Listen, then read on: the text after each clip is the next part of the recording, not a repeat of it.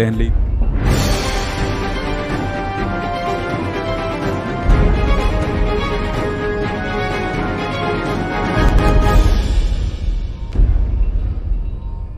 ਨਮਸਕਾਰ ਜੀ, ਮੈਂ ਹਾਂ ਤੁਹਾਡਾ ਆਪਣਾ ਬਲਵਿੰਦਰ ਹਾਲੀ ਤੇ ਤੁਸੀਂ ਦੇਖ ਰਹੇ ਹੋ ਪੰਜਾਬ ਡੈਰੀ। ਫਰੀਦਕੋਟ ਵਿੱਚ ਦੀ ਲੰਘਦੀਆਂ ਜੌੜੀਆਂ ਨਹਿਰਾਂ ਸਰਹੰਦ, ਫੀਡਰ ਤੇ ਰਾਜਸਥਾਨ। ਇਹਨਾਂ ਵਿੱਚੋਂ ਇੱਕ ਨਹਿਰ ਹੈ ਜਿਹੜੀ, ਉਸ ਨੂੰ ਅੱਜ ਕੱਲ ਬੰਦ ਕੀਤਾ ਹੋਇਆ ਹੈ ਤੇ ਉਸ ਦਾ ਪਾਣੀ ਬਿਲਕੁਲ ਘਟ ਗਿਆ ਤੇ ਪਾਣੀ ਘਟਣ ਦੇ ਨਾਲ ਨਹਿਰ ਦਾ ਅੰਦਰਲਾ ਭਿਆਨਕ ਰੂਪ ਸਾਹਮਣੇ ਆਇਆ।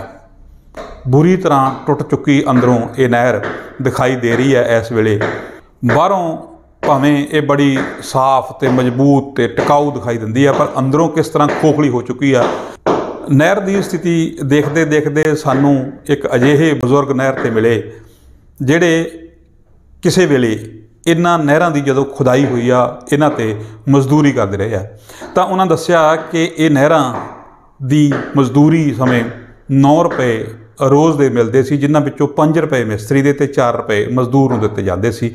ਉਸ ਵੇਲੇ ਜਦੋਂ ਇਹ ਨਹਿਰਾਂ ਦੀ ਖੁਦਾਈ ਹੋਈ ਆ। ਇਸ ਤੋਂ ਇਲਾਵਾ ਉਹਨਾਂ ਨੇ ਇਹ ਵੀ ਦੱਸਿਆ ਕਿ ਜਿਹੜਾ ਹੁਣ ਪੁਲ ਢਾਹ ਕੇ ਨਵਾਂ ਬਣਾਇਆ ਗਿਆ, ਜਿਹੜਾ ਢਾਇਆ ਗਿਆ ਪੁਲ ਆ, ਉਸ ਦਾ ਲੈਂਟਰ ਆ, ਜਿਹੜੀ ਸਲੈਬ ਆ, ਉਹ ਵੀ ਇਸ ਬਜ਼ੁਰਗ ਨੇ ਪਾਈ ਸੀ। ਉਹਨਾਂ ਦੱਸਿਆ ਕਿ ਉਸ ਵੇਲੇ 9 ਆਨੇ ਓਵਰ ਟਾਈਮ ਦਿੱਤਾ ਗਿਆ ਸੀ ਕਿ ਜਿੰਨਾ ਦੇਰ ਸਲੈਬ ਨਹੀਂ ਪੈਂਦੀ ਉਨੀ ਦੇਰ ਜਾਣਾ ਨਹੀਂ ਤੇ ਉਸ ਦੇ ਤੁਹਾਨੂੰ 9 ਆਨੇ ਦਿਹਾੜੀ ਤੋਂ ਵੱਖਰੇ ਦਿੱਤੇ ਜਾਣੇ ਆ ਜਿੰਨਾ ਚਿਰ ਸਲੈਬ ਨਹੀਂ ਪੈਂਦੀ। ਬਜ਼ੁਰਗ ਨੇ ਇੱਕ ਇਹ ਵੀ ਰਾਜ ਖੋਲਿਆ ਕਿ ਜਿਹੜੀ ਨਹਿਰਾਂ ਦੀ ਹਾਲਤ ਆ ਇਹ ਕਿਉਂ ਆ ਇਸ ਤਰ੍ਹਾਂ? ਤੇ ਆਓ ਸੁਣਦੇ ਆ ਇਸ ਬਜ਼ੁਰਗ ਦੀ ਗੱਲਬਾਤ ਤੇ ਨਾਲ ਦੀ ਨਾਲ ਤੁਹਾਨੂੰ ਦਿਖਾਉਣੇ ਆ ਨਹਿਰਾਂ ਦਾ ਭਿਆਨਕ ਰੂਪ। ਆਪੂ ਕੀ ਨਾਂ ਤੁਹਾਡਾ? ਪਾਲ ਸਿੰਘ ਹੈ ਜੀ। ਕਿਹੜਾ ਪਿੰਡ ਆ? ਚਾਹਦਾ ਜੀ। ਇਹ ਨਹਿਰਾਂ ਬਾਰੇ ਦੱਸੋ ਕੁਝ ਕਦੋਂ ਬਣੀਆਂ ਤੁਸੀਂ ਕੀ ਕੀਤਾ ਮੇਰਾ ਖਿਆਲ ਆ 60 ਵਾਰੀ ਹੋ ਚੱਲੇ ਜੀ। ਕੌਣ ਕੌਣ ਹੁੰਦੇ ਸੀ ਹਨਾ? ਇੱਥੇ ਮੇਰੇ ਨਾਲ ਹੋਰ ਬੰਦੇ ਬਥੇਰੇ ਹੁੰਦੇ ਸੀ। ਵਿੱਚ ਇੱਥੇ ਮਿਸਤਰੀ ਹੁੰਦੇ ਸੀ 5 ਰੁਪਏ ਉਹ ਬਣਦੇ ਸੀ। 9 ਰੁਪਏ ਹੁੰਦੇ ਸੀ ਸਾਰੇ ਮਿਸਤਰੀ ਮਜ਼ਦੂਰਾਂ ਦੇ। ਮਿਸਤਰੀ ਹੁੰਦਾ ਸੀ 5 ਰੁਪਏ ਤਾਂ ਦੇ ਬੰਦੇ ਜੇ ਧਮਾਲੀ ਚਲਾ ਦੇਵੇ ਤਾਂ। ਤਾਂ ਤਾਂ ਉਹਨਾਂ ਮਿਸਤਰੀ ਮਜ਼ਦੂਰ ਦੀ ਦਿਹਾੜੀ ਪੈਂਦੀ ਸੀ। ਤੇ ਆਹ ਪੁਲ ਬਣਿਆ ਹੁਣ? ਹਾਂ ਪੁਲ ਆ ਛੋਟੀ ਨਹਿਰ ਦਾ ਪੁਲ ਬਣਿਆ ਜਦੋਂ ਉਦੋਂ ਸਾਨੂੰ ਮੈਨੀ ਠੇਕੇ ਦਾ ਹੁੰਦਾ ਫਿਰੋਜ਼ਪੁਰ ਦਾ। ਅਸੀਂ ਜਾਣ ਲੱਗੇ ਘਰ ਨੂੰ ਵੀ ਟਾਈਮ ਹੋ ਗਿਆ ਅਸੀਂ ਤਾਂ ਹਨੇਰਾ ਹੋ ਗਿਆ ਜਾਣੇ ਘਰ ਨੂੰ। ਉਹ ਸਾਨੂੰ ਵਾਲਾ ਪੰਜ ਪੰਜਾਂ ਨੇ ਹੋਰ ਦੂੰਗਾ ਤੇ ਸਲੈਬ ਪਾਏ ਬਿਨਾ ਮੈਂ ਨਹੀਂ ਜਾਣ ਦਿੰਦਾ। ਫਿਰ ਆਜ ਨੂੰ ਅਸੀਂ ਸਲੈਬ ਪਾ ਕੇ ਗਏ ਸੀ। ਪੰਜ ਪੰਜ ਆਨੇ ਲੱਗੇ ਸੀ ਉਦੋਂ? ਹਾਂ। ਇੱਕ ਵੱਧ ਲਏ ਸੀ ਓਵਰ ਟਾਈਮ ਤੇ ਤੁਸੀਂ। ਹਾਂਜੀ। ਉਹਨੂੰ ਪੰਜ ਪੰਜਾਂ ਨੇ ਹੋਰ ਦੇ ਦਿੰਦੇ। ਜਿਹੜੀ ਟੁੱਟੀ ਪਈ ਆ ਨਹਿਰ। ਇਹ ਟੁੱਟੀ ਇੱਥੇ ਰੇਤਾ ਨਿਕਲਦਾ ਰਿਹਾ ਜੀ। ਇੱਥੇ ਤੁਹਾਡੀ ਡਿੱਗਦੀ ਹੈ ਨਾ ਇੱਥੇ ਰੇਤਾ ਨਿਕਲਦਾ ਸੀ ਜੋ ਉਹ ਤੇ ਚੈੱਕ ਕਰਨ ਆਉਂਦਾ ਸੀ ਮਸਾਲਾ। ਉਹਨੂੰ ਜੇਬ 'ਚ 50 ਰੁਪਏ ਤੱਕ ਦੇਣੇ ਤੇ ਜਾ ਵੀ ਅਗਲੀ ਬੁੱਢੀ ਦੇ ਅੱਛਾ। ਉਹ ਐ ਨਹੀਂ ਕਹਿੰਦਾ ਵੀ ਪਰ ਰੇਤਾ ਆਇਆ। ਉਹ- ਉਦੋਂ ਦਾ ਕਪੜਾ ਹੋਇਆ ਹੋਇਆ ਹੈ ਜਦੋਂ ਬਣੀ ਹੈ। ਹਾਂਜੀ ਹਾਂਜੀ। ਉਹਨੇ ਇੱਥੋਂ ਉੱਥੇ ਡਿੱਗਦੀ ਇੱਥੇ ਬਣਾਈ ਚ ਕਰਕੇ ਬਚਿਆ ਦਾ। ਇਸੇ ਪਟਾਈ ਚ ਪਿਛਾਂ ਬਣਾਈ ਚ। ਨਹਿਰ ਦਾ ਤਾਂ ਤੁਸੀਂ ਦੇਖ ਹੀ ਲਿਆ ਜੀ ਵੈਸੇ ਬੁਰਾ ਹਾਲ ਹੀ ਹੈ ਜੀ। ਦੇਖੋ ਕਿੰਨਾ ਬੁਰਾ ਹਾਲ ਟੁੱਟੀ ਪਈ ਹੈ ਜੀ। ਇਹਦੇ ਨਾਲ ਪਰੜੀ ਨੂੰ ਵੀ ਖਤਰਾ ਹੈ ਜੀ। ਜਦੋਂ ਕਰੋੜਾਂ ਰੁਪਏ ਲੱਗੀ ਜਾਂਦੇ ਆ ਜੀ ਅਸੀਂ ਤਾਂ ਨੇ ਵੀ ਸਹੀ ਪੈਸੇ ਲੱਗਣ ਤੇ ਸਹੀ ਕੰਮ ਹੋਵੇ ਜੀ। ਇਸ ਕਰਕੇ ਜੀ ਚਾਹੁੰਦੇ ਆ ਦੂਸਰੀ ਇਹ ਗੱਲ ਆ ਜੀ ਸਾਨੂੰ ਇਹ ਪਤਾ ਲੱਗਾ ਵੀ ਨਹਿਰ ਪਿੱਛੋਂ ਜਿਹੜੀ ਥੱਲਿਓਂ ਬੰਦ ਕਰਕੇ ਇਹਨੂੰ ਜਮਾਂ ਸ- ਇਹਦੀ ਦੂਜਾ ਪਾਣੀ ਸਿਮਣ ਤੋਂ ਤੇ ਬੰਦ ਕਰ ਰਹੇ ਨੇ। ਪਰ ਉੱਥੇ ਦਾ ਫਾਇਦਾ ਜਿੱਥੇ ਵਾਹਣਾ ਨੂੰ ਸੇਮ ਚੜਦੀ ਹੈ ਉੱਥੇ ਚਲੋ ਠੀਕ ਹੈ ਫਾਇਦਾ ਜੀ। ਪਰ ਜਿਹੜਾ ਆ ਏਰੀਆ ਫੀਕੋਟ ਦੀ ਕਲੋਨੀ ਹੈ ਜੀ, ਇੱਥੇ ਸਾਡੇ ਨਲਕੇ ਤੇ ਪਾਣੀ ਬਹੁਤ ਸਵਾਦ ਹੈ ਅਸੀਂ ਸਰਕਾਰ ਨੂੰ ਵੀ ਬੇਨਤੀ ਕਰਾਂਗੇ ਜਾਂ ਕੁਝ ਵੀ ਕਿਸੇ ਸਿਸਟਮ ਜਿਹੜਾ ਪਾਣੀ ਸਾਡਾ ਨੀਵਾਂ ਨਾ ਜਾਵੇ, ਨਲਕਿਆਂ ਦਾ ਪਾਣੀ ਠੰਡਾ ਸਵਾਦ ਹੋਵੇ ਰਹੇ ਜੀ ਸਾਡਾ ਸਾਰਾ ਸ਼ਹਿਰ ਇੱਥੋਂ ਪਾਣੀ ਪੀਂਦਾ ਇਹ ਬੇਨਤੀ ਹੈ ਵੀ ਸਾਡੀ ਨਹਿਰ ਥੱਲੇ ਜਮਾਂ ਪੂਰਨ ਨੂੰ ਬੰਦ ਨਾ ਕੀਤੀ ਜਾਵੇ, ਜਿਹੜੀ ਸੀਲ ਕਰ ਰਹੇ ਆ। ਉਸ ਲਈ ਕੋਈ ਪ੍ਰਸ਼ਾਸਨ ਨੂੰ ਬੇਨਤੀ ਕਰਦੇ ਆ ਵੀ ਪੀਣ ਵਾਲਾ ਪਾਣੀ ਸ- ਸਹੀ, ਸਾਡਾ ਸਹੀ ਰਹੇ ਲੋਕੀ ਨਲਕਿਆਂ ਤੋਂ ਪਾਣੀ ਲੈ ਕੇ ਜਾਂਦੇ ਨੇ।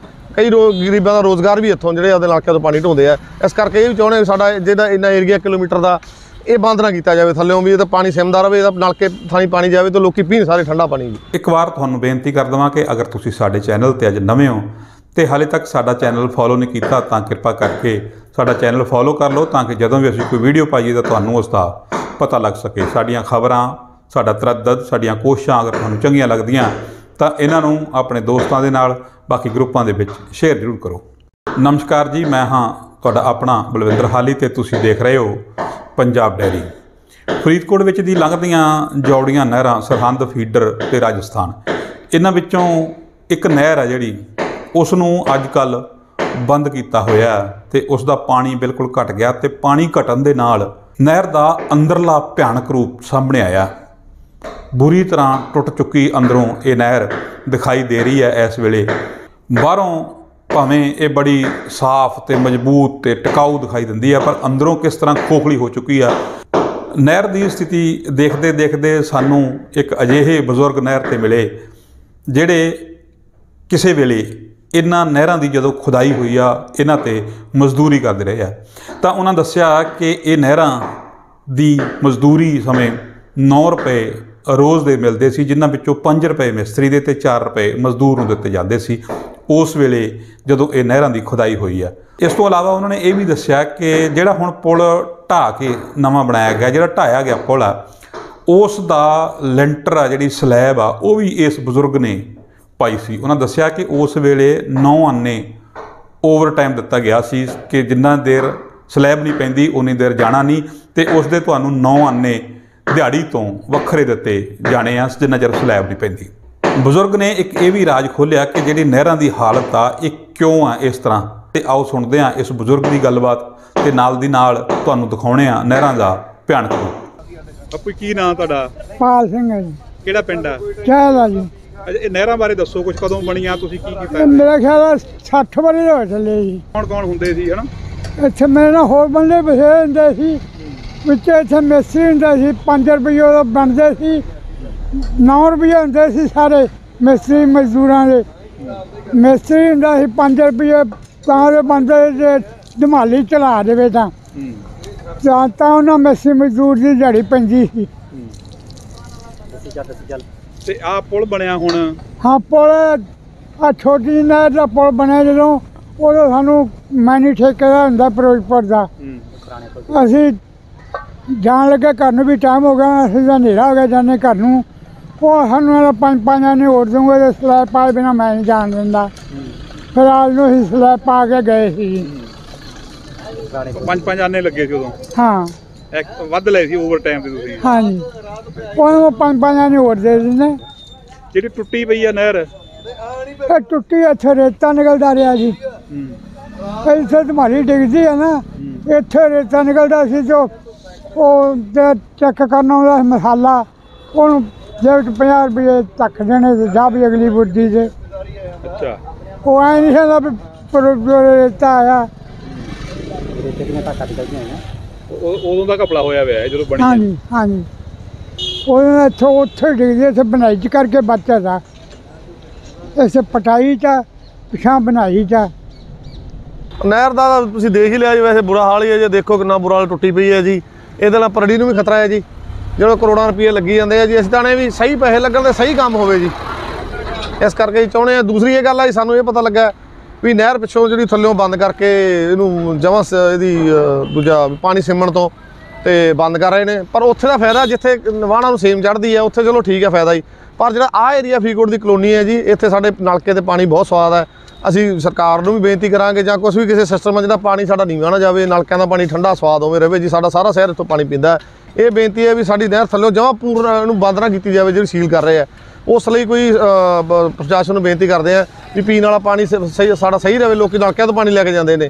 ਕਈ ਰੋ, ਗਰੀਬਾਂ ਦਾ ਰੋਜ਼ਗਾਰ ਵੀ ਇੱਥੋਂ ਜਿਹੜੇ ਆਪਦੇ ਨਲਕਿਆਂ ਤੋਂ ਪਾਣੀ ਢੋਂਦੇ ਆ। ਇਸ ਕਰਕੇ ਇਹ ਵੀ ਚਾਹੁੰਦੇ ਵੀ ਸਾਡਾ ਜਿਹੜਾ ਇੰਨਾ ਏਰੀਆ ਕਿਲੋਮੀਟਰ ਦਾ, ਇਹ ਬੰਦ ਨਾ ਕੀਤਾ ਜਾਵੇ ਥੱਲੇੋਂ ਵੀ ਇਹ ਤਾਂ ਪਾਣੀ ਸਿਮਦਾ ਰਵੇ, ਇਹਦਾ ਨਲਕੇ ਥਾਣੀ ਪਾਣੀ ਜਾਵੇ ਤਾਂ ਲੋਕੀ ਪੀਣ ਸਾਰੇ ਠੰਡਾ ਪਾਣੀ ਜੀ ਇੱਕ ਵਾਰ ਤੁਹਾਨੂੰ ਬੇਨਤੀ ਕਰ ਦਵਾਂ ਕਿ ਅਗਰ ਤੁਸੀਂ ਸਾਡੇ ਚੈਨਲ ਤੇ ਅੱਜ ਨਵੇਂ ਹੋ ਤੇ ਹਾਲੇ ਤੱਕ ਸਾਡਾ ਚੈਨਲ ਫੋਲੋ ਨਹੀਂ ਕੀਤਾ ਤਾਂ ਕਿਰਪਾ ਕਰਕੇ ਸਾਡਾ ਚੈਨਲ ਫੋਲੋ ਕਰ ਲਓ ਤਾਂ ਕਿ ਜਦੋਂ ਵੀ ਅਸੀਂ ਕੋਈ ਵੀਡੀਓ ਪਾਈਏ ਤਾਂ ਤੁਹਾਨੂੰ ਉਸ ਦਾ ਪਤਾ ਲੱਗ ਸਕੇ। ਸਾਡੀਆਂ ਖਬਰਾਂ ਸਾਡਾ ਤਰੱਦਦ ਸਾਡੀਆਂ ਕੋਸ਼ਿਸ਼ਾਂ ਅਗਰ ਤੁਹਾਨੂੰ ਚੰਗੀਆਂ ਲੱਗਦੀਆਂ, ਤਾਂ ਇਹਨਾਂ ਨੂੰ ਆਪਣੇ ਦੋਸਤਾਂ ਦੇ ਨਾਲ, ਬਾਕੀ ਗਰੁੱਪਾਂ ਦੇ ਵਿੱਚ ਸ਼ੇਅਰ ਜ਼ਰੂਰ ਕਰੋ। ਨਮਸਕਾਰ ਜੀ, ਮੈਂ ਹਾਂ ਤੁਹਾਡਾ ਆਪਣਾ ਬਲਵਿੰਦਰ ਹਾਲੀ ਤੇ ਤੁਸੀਂ ਦੇਖ ਰਹੇ ਹੋ ਪੰਜਾਬ ਡੈਰੀ। ਫਰੀਦਕੋਟ ਵਿੱਚ ਦੀ ਲੰਘਦੀਆਂ ਜੌੜੀਆਂ ਨਹਿਰਾਂ ਸਰਹੰਦ, ਫੀਡਰ ਤੇ ਰਾਜਸਥਾਨ। ਇਹਨਾਂ ਵਿੱਚੋਂ ਇੱਕ ਨਹਿਰ ਹੈ ਜਿਹੜੀ, ਉਸ ਨੂੰ ਅੱਜ ਕੱਲ ਬੰਦ ਕੀਤਾ ਹੋਇਆ ਹੈ ਤੇ ਉਸ ਦਾ ਪਾਣੀ ਬਿਲਕੁਲ ਘਟ ਗਿਆ ਤੇ ਪਾਣੀ ਘਟਣ ਦੇ ਨਾਲ ਨਹਿਰ ਦਾ ਅੰਦਰਲਾ ਭਿਆਨਕ ਰੂਪ ਸਾਹਮਣੇ ਆਇਆ। ਬੁਰੀ ਤਰ੍ਹਾਂ ਟੁੱਟ ਚੁੱਕੀ ਅੰਦਰੋਂ ਇਹ ਨਹਿਰ ਦਿਖਾਈ ਦੇ ਰਹੀ ਹੈ ਇਸ ਵੇਲੇ। ਬਾਹਰੋਂ ਭਾਵੇਂ ਇਹ ਬੜੀ ਸਾਫ਼ ਤੇ ਮਜ਼ਬੂਤ ਤੇ ਟਿਕਾਊ ਦਿਖਾਈ ਦਿੰਦੀ ਹੈ, ਪਰ ਅੰਦਰੋਂ ਕਿਸ ਤਰ੍ਹਾਂ ਖੋਖਲੀ ਹੋ ਚੁੱਕੀ ਆ। ਨਹਿਰ ਦੀ ਸਥਿਤੀ ਦੇਖਦੇ ਦੇਖਦੇ ਸਾਨੂੰ ਇੱਕ ਅਜਿਹੇ ਬਜ਼ੁਰਗ ਨਹਿਰ ਤੇ ਮਿਲੇ, ਜਿਹੜੇ ਕਿਸੇ ਵੇਲੇ ਇਹਨਾਂ ਨਹਿਰਾਂ ਦੀ ਜਦੋਂ ਖੁਦਾਈ ਹੋਈ ਆ, ਇਹਨਾਂ ਤੇ ਮਜ਼ਦੂਰੀ ਕਰਦੇ ਰਹੇ ਆ।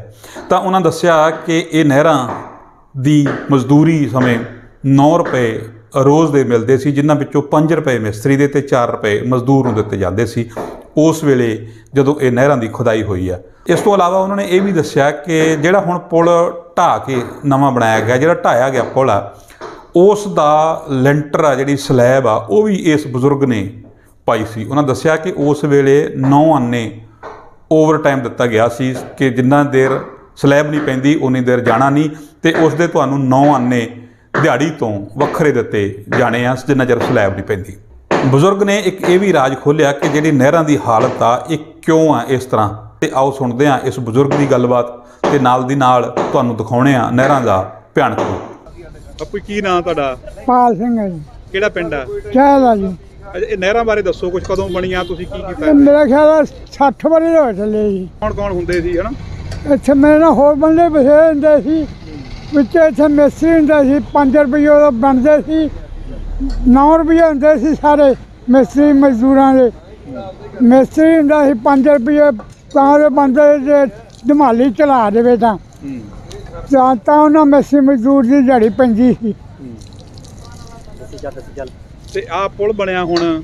ਹਾਂ ਪੁਲ ਆ ਛੋਟੀ ਨਹਿਰ ਦਾ ਪੁਲ ਬਣਿਆ ਜਦੋਂ ਉਦੋਂ ਸਾਨੂੰ ਮੈਨੀ ਠੇਕੇ ਦਾ ਹੁੰਦਾ ਫਿਰੋਜ਼ਪੁਰ ਦਾ।